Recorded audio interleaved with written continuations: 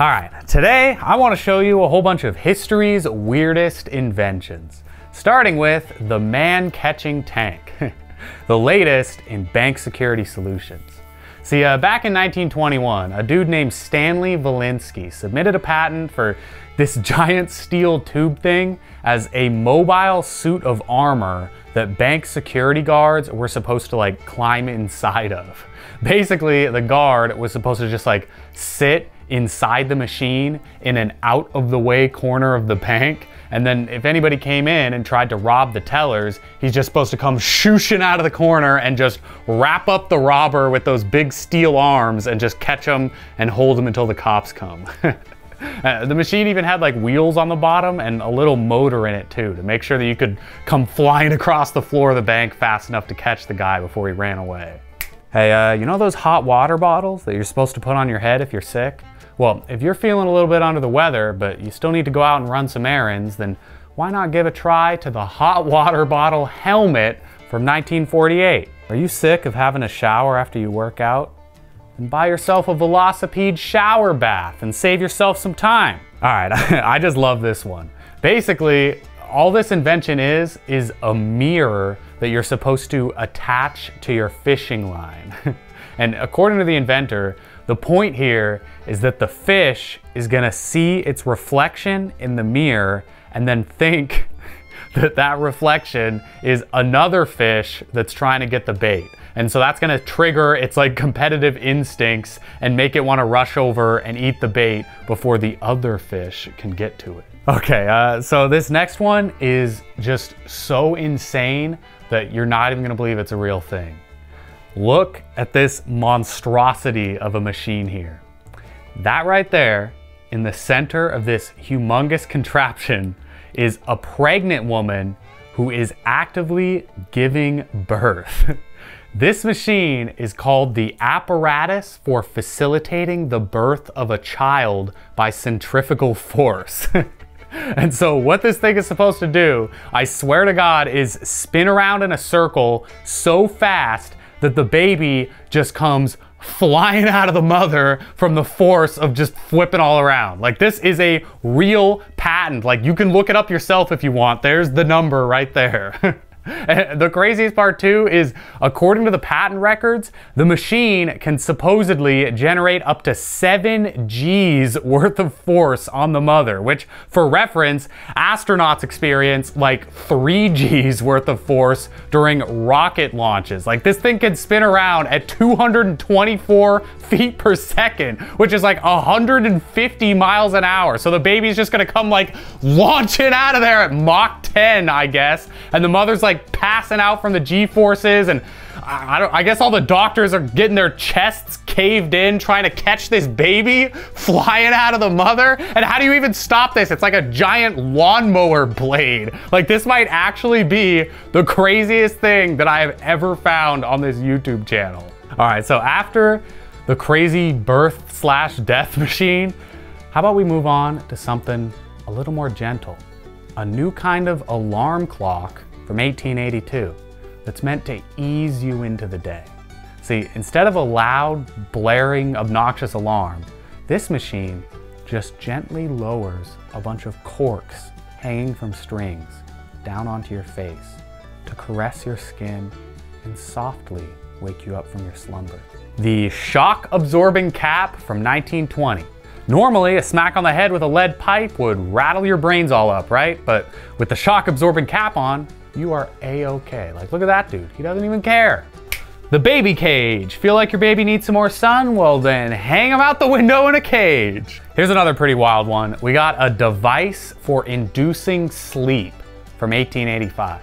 I really wish the patent record actually had like a drawing of this thing on a person, but what this is, is a collar that you're supposed to wrap around your neck that has a thumb screw on it and what you're supposed to do is tighten the screw enough that the collar cuts off the blood flow to your brain and knocks you unconscious so you can get some sleep. so you're literally just supposed to choke yourself to sleep and then I guess get your eight hours while you're lying there in bed with no oxygen flow. How about the shocking stocking? This one is for the ladies that are afraid of mice.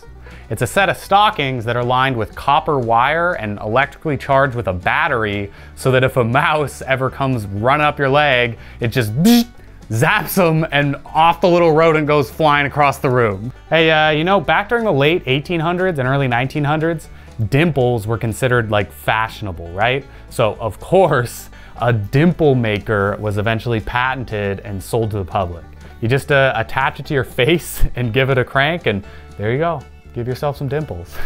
this was a, actually like a surprisingly big thing as far as I can tell. Like I found two separate devices meant to give you dimples and even a few articles talking about women suing professional dimple makers because their faces got all like screwed up and scarred by the machines. All right, next up is the Hollister Windbag from 1939. And there is no real way for me to delicately explain this one. Like it, it is literally just a bag and a tube that collects your farts. like you put this thing in your pants and then whenever you fart, the gas just goes into the bag so that nobody can smell it. And then I guess you're just supposed to like discreetly empty your fart bag like out the window when nobody's looking or something. Like, like, or you just like take a smoke break and go outside and then just like frantically fumble around with the fart bag in your underwear trying to let the gas out without anybody noticing. The uh, tapeworm trap from 1854. This is exactly what it sounds like. It's basically like a fishing rod. You just put some food in that little capsule there, and then you swallow the capsule, and then the tapeworm takes the bait, and you just pull it out of your guts. I do not think that is how tapeworms work at all. All right, how's about a bunch of gun related inventions? Like, here's a gun hat, for example.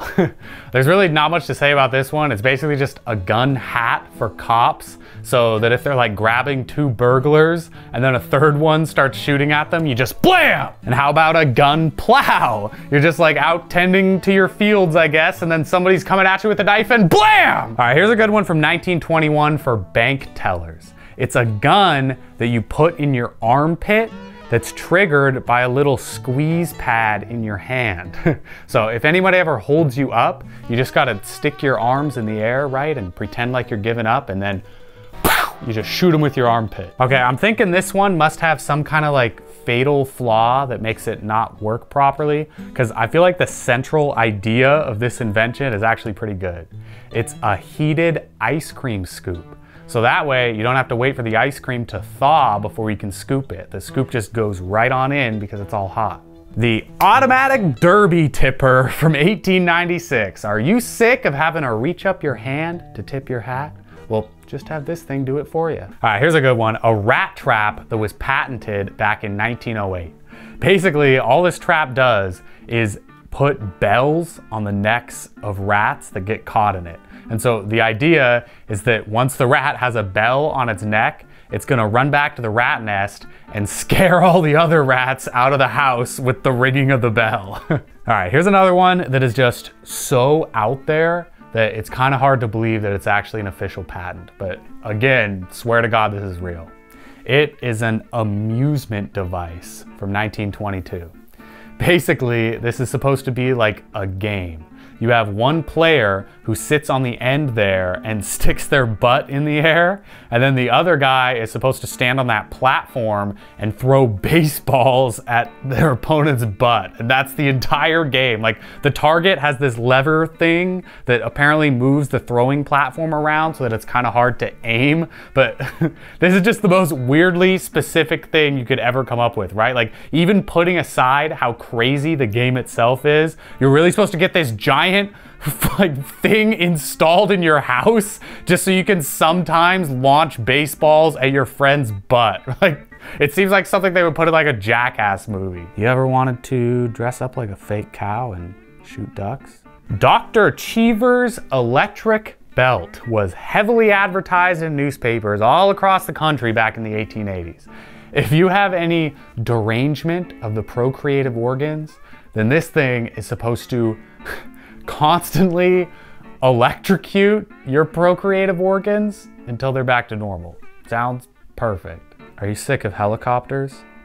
Well, then this guy in 1959 has got an invention for you.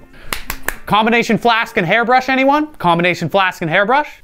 Lip shaper, anyone? A lip shaper? You want to change the shape of your lips? Uh, give this thing a shot. How about a nose shaper then? Uh, just slap this bad boy on and in no time, your nose will go from that to that. All right, this one is literally just a balloon with dynamite attached to it that you're supposed to float up into the air and then blow up. And apparently somehow doing that is supposed to summon rainfall.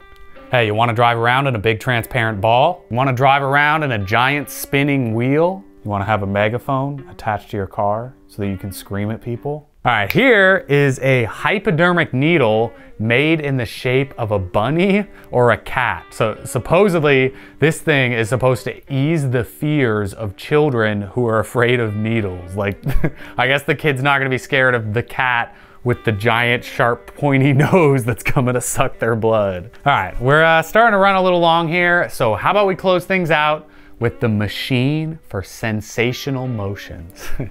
An idea that is so insane that it even rivals the spinning birth contraption from earlier. So this one comes from the year 1891 from a French guy named Caron or Karen. And what he wants to do is build a gigantic bullet-shaped pod thing that's big enough to fit 15 people inside and then hoist the pod up to the top of the Eiffel Tower and then just drop it off. And that's pretty much it. You just drop 15 people off of the Eiffel Tower in a giant metal bullet. but uh, although this thing might sound like uh, some kind of death machine, it's actually supposed to be sort of like an amusement park ride because Corone also wanted to dig a huge pond underneath the Eiffel Tower so that the pod would fall into that and I guess lessen the impact on the passengers. So, so 15 people are supposed to enjoy the feeling of free falling at 172 miles per hour in a 10 ton bombshell looking thing and then gently fall into the pond and land with no injury. Unsurprisingly, I don't think this one ever got built. Thank you for watching.